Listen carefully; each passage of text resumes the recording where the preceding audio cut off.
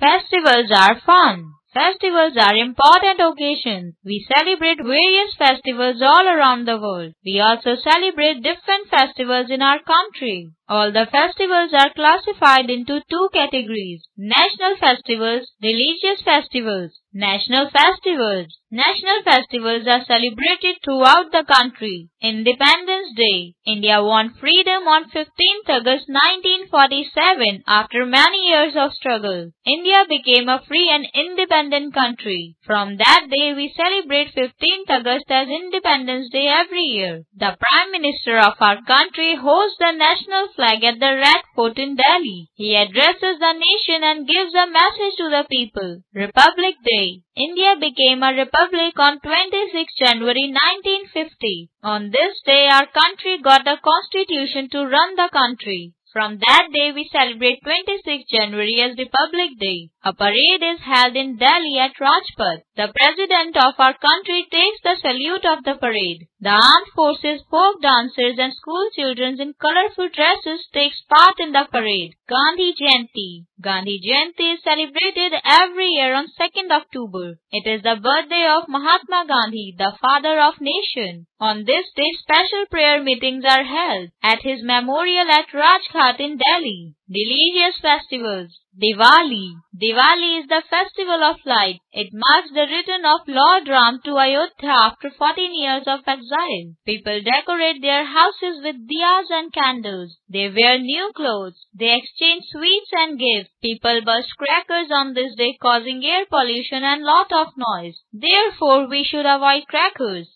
Holi. Holi is the festival of colors. People play with gulal and colored water. They sing and dance. Gujia is a famous sweet made on this day. Dussehra. Dussehra is also an important festival. It marks the victory of good over evil. Huge effigies of Ravan, Kumbhkarna and Meghnath are burnt every year on this day. Guru Purab. Sikhs celebrate the birth of Sikh Gurus as Guru Purab. Prayers are offered at Gurudwaras. Huge processions are taken out on this day. Kirtan is sung and a special meal called langar is served to all. Christmas Christmas is celebrated every year on 25th December. It marks the birth of Jesus Christ. People go for the mass at the church in midnight and sing carols. Christmas trees are decorated by them. People exchange gifts with each other on this day. Eid ul Fitr. Eid ul Fitr also as Eid and is celebrated by Muslims. It marks the end of the holy month of Ramzan. Special prayers or namaz are offered in mosque.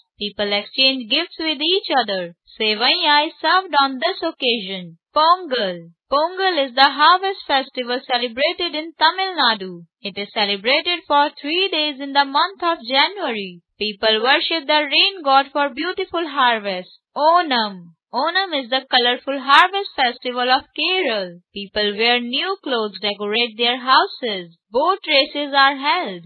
Special boats called snake boats take part in these races. Raksha Bandhan Raksha Bandhan marks the love between a brother and a sister. On this day, sisters tie Rakhi on their brother's wrist. Many other festivals are also celebrated in different parts of our country.